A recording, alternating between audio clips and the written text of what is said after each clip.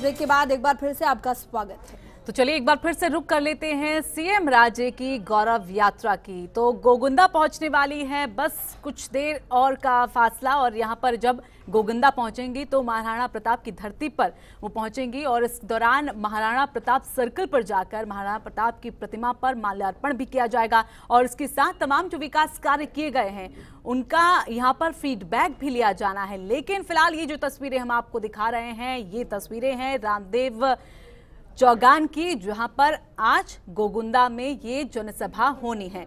तो देख सकते हैं कि कितनी तादाद में यहाँ पर तमाम महिलाएँ, पुरुष इकट्ठा हैं।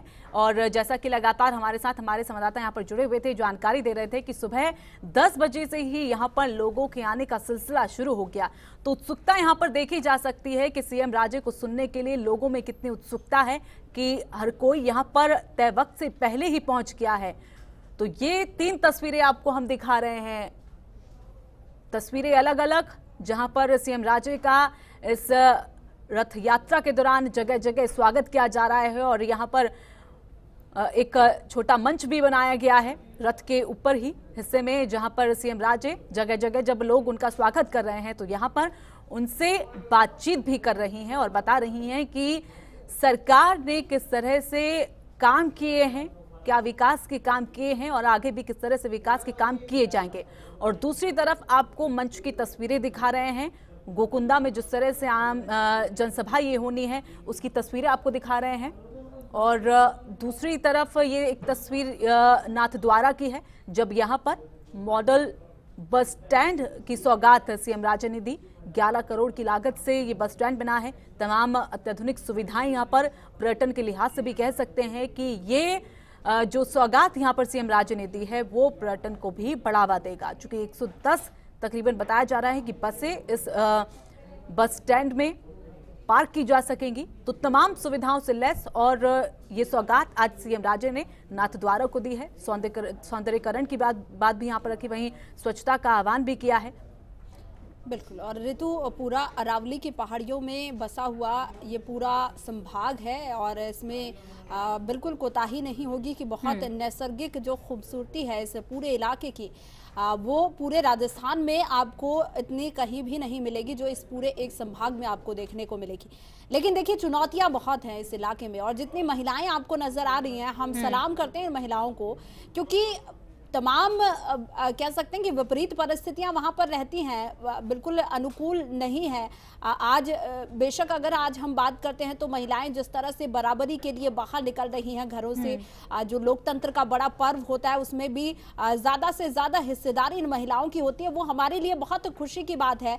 लेकिन देखिए पूरे अगर राजस्थान की तासीर को समझा जाए तो जिस तरह की भौगोलिक परिस्थितियाँ रही हैं महिलाओं के लिए वो इतना ईजी नहीं था वहाँ पर। पानी को लेकर जिस तरह से और जो बेसिक मूलभूत सुविधाएँ होती है उसको लेकर भी हालाँकि अब ये उम्मीद कर सकते हैं कि इसमें आगे बेहतरी के लिए काम किया जाएगा क्योंकि पूरा जो एरिया है अगर हम थोड़ा सा आगे चले जाते हैं डूंगरपुर साइड की तरफ़ अगर बात करते हैं हम्म। बिल्कुल पहाड़ी वाला एरिया है वहाँ पर आपको बेसिक जो सुविधाएँ हैं उसको पहुँचाने के लिए आपको बहुत सारी आपके सामने चुनौतियाँ आएँगी पूरे उदयपुर की अगर बात करते हैं तो कुछ इलाके ऐसे हैं जहाँ पर सड़क को लेकर और साथ ही साथ कनेक्टिविटी को लेकर बहुत ज़्यादा दिक्कतें होती है और जिस तरह से बस का आपने ज़िक्र किया वो वाकई बेहद हम्म। उपयोगी उन लोगों के लिए साबित होने वाला है। अगर दूर दराज के इलाकों तक अगर वो बस सेवा पहुँचती है तो। बिल्कुल और इस दौरान हमारे साथ जहाँ पर जनसभा होनी है वहाँ पर हमारे संवाददाता नरेश लगातार हमारे साथ बने हुए हैं।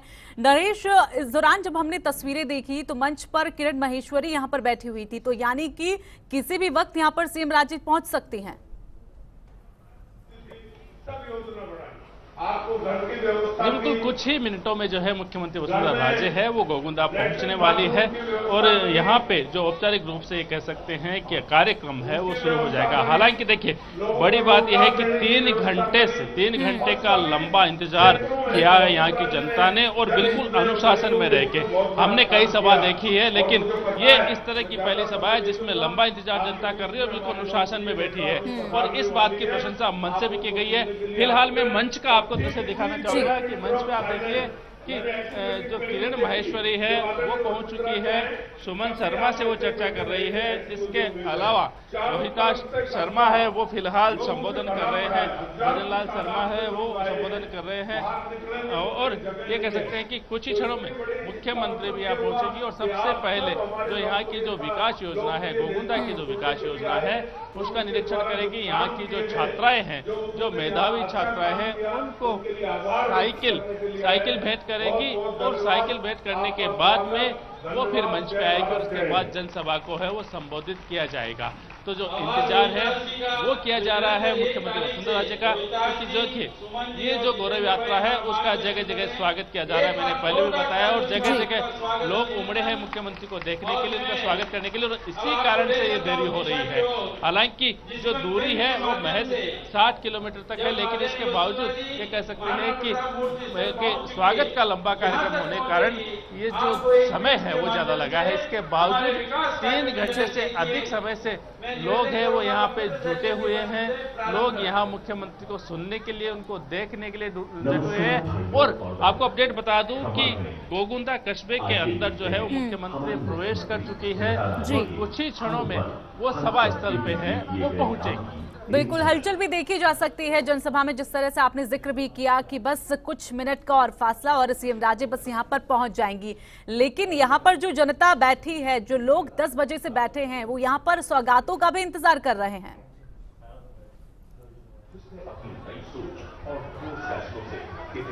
बिल्कुल सौगातों का इंतज़ार है, वो ज़रूर किया जाता है जब भी बड़ी जनसभा होती है चूँकि मुख्यमंत्री जब आते हैं किसी कार्यक्रम में, किसी सभा में तो ज़रूर लोगों को उम्मीद होती है कि उनके लिए कोई बड़ी घोषणा हो, उनके लोगों के लिए, उनकी सहूलियत के लिए सरकार बड़े कदम उठाए।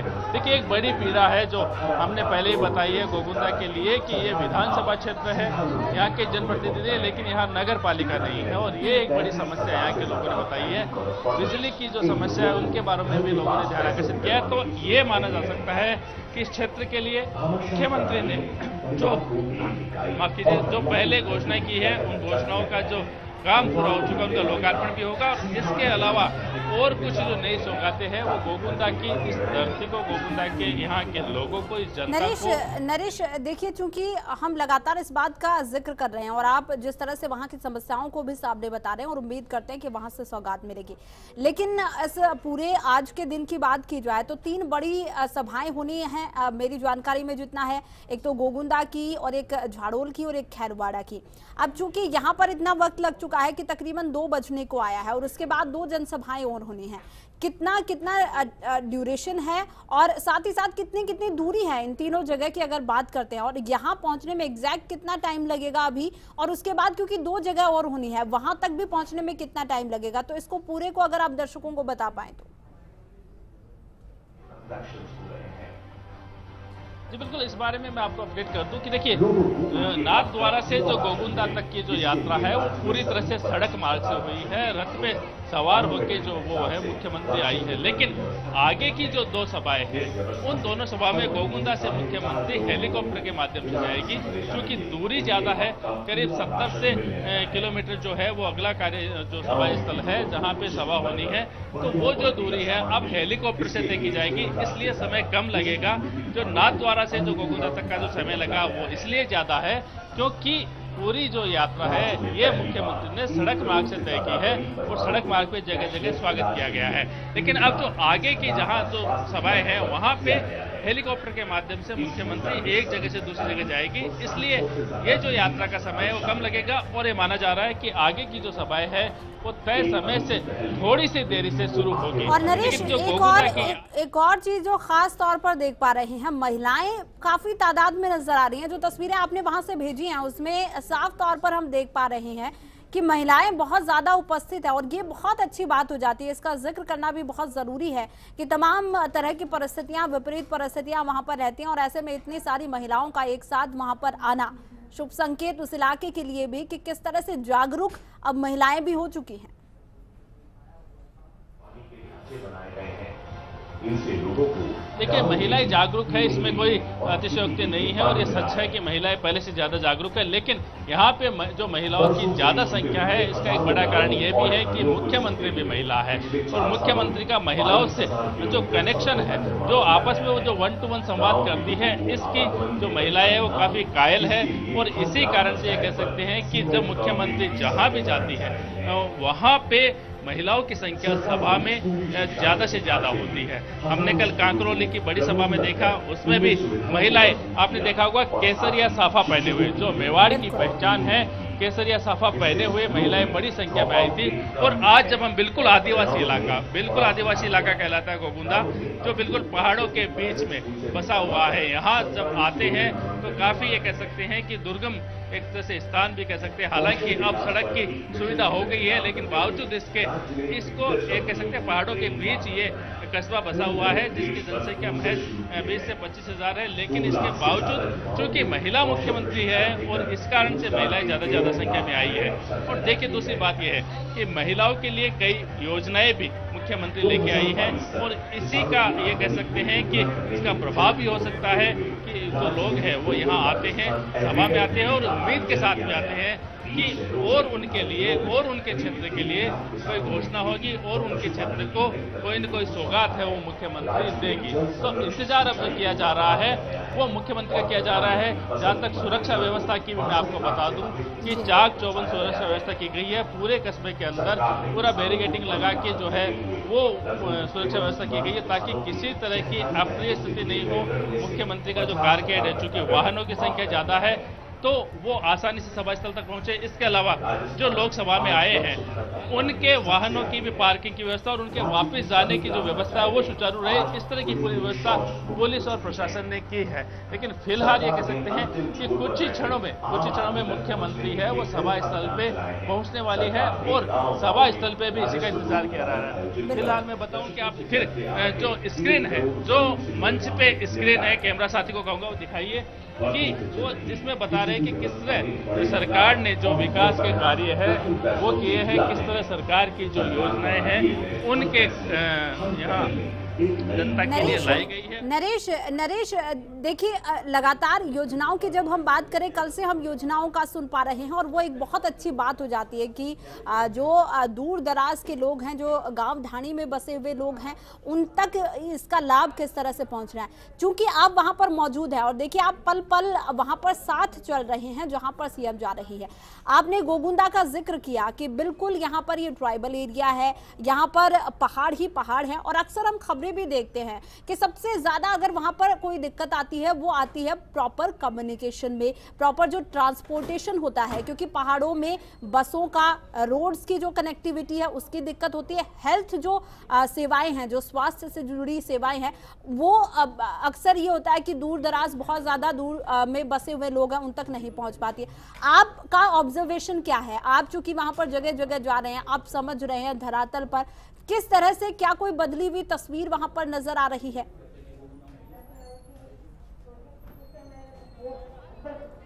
देखिए, आज से करीब सात साल पहले भी मैं क्षेत्र में आया था, पूरे क्षेत्र को देखा था, लेकिन आज का जो हमने गोगुंदा देखा है, वो काफ़ी बदला हुआ नज़र आ रहा है।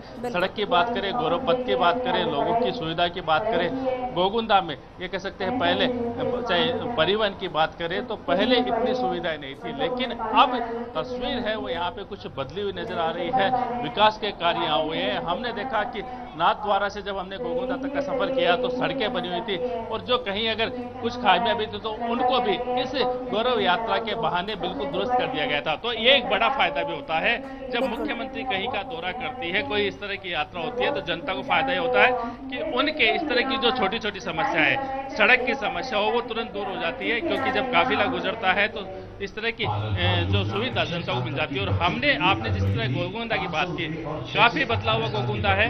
लोग पहले से ज़्यादा जागरूक है, अपनी अधिकार को मानते हैं और किस तरह सरकार ने उनके लिए काम किए, उनकी जानकारी भी उनके पास है। आज जब मंच से लोगों से सवाल जवाब हो रहे थे तो जो चीज़ें उनको मिली है उसके लिए उन्होंने हाथ उठाकर हाँ की है और जो चीज़ें नहीं मिली उनके लिए मना करने में भी उन्होंने कोई संकोच नहीं किया। तो ये जागरूकता की बात है। शिक्षा के कारण जागरूकता आई है। हालाँकि आदिवासी इलाका है काफ़ी घने ये कह सकते हैं कि जंगल पहाड़ी जो इलाका है उसमें ये कस्बा बसा हुआ है। लेकिन विकास की बात करें काफ़ी बदलाव आया है। सुविधाओं की बात करें काफ़ी सुविधाएँ विकसित हुई है। एक, एक और लेकिन चीज़ अगर नरेश आपने नोटिस की हो क्योंकि पिछले पाँच साल से आप फ़ील्ड में जाते हैं, आप देखते हैं, आप समझते हैं। जब रैलियाँ हुई थी, परिवर्तन रैली हुई थी, संकल्प जो सुराज संकल्प यात्रा हुई थी और उसके बाद अब ये गौरव यात्रा। और बीच में हमने देखा कि कई बार सरकार जो है, वो आपके द्वार मतलब लोगों के घरों तक भी गई। हर संभाग को लगभग लगभग कवर किया गया था, वो भी हमने देखा। तो कितना कह सकते हैं, कितना फ़ायदा होता है, कितना ये कह सकते हैं कि इम्पैक्ट वहाँ पर पड़ता है, क्योंकि काम होते हैं। जब आप जाओगे, वहाँ पर दस अगर लोग आ रहे हैं आपकी परेशानी लेकर आ रहे हैं तो उन परेशानियों को भी सॉर्ट आउट आप करोगे। तो ऐसा कुछ यहाँ पर भी देखने को मिल रहा है इस दरमियान भी? जी बिल्कुल देखिए, चाहे जन जन संवाद की बात कहें आप या इस तरह की जो गौरव यात्रा है या और जो यात्राएँ राजस्थान में हुई, उनकी बात करें।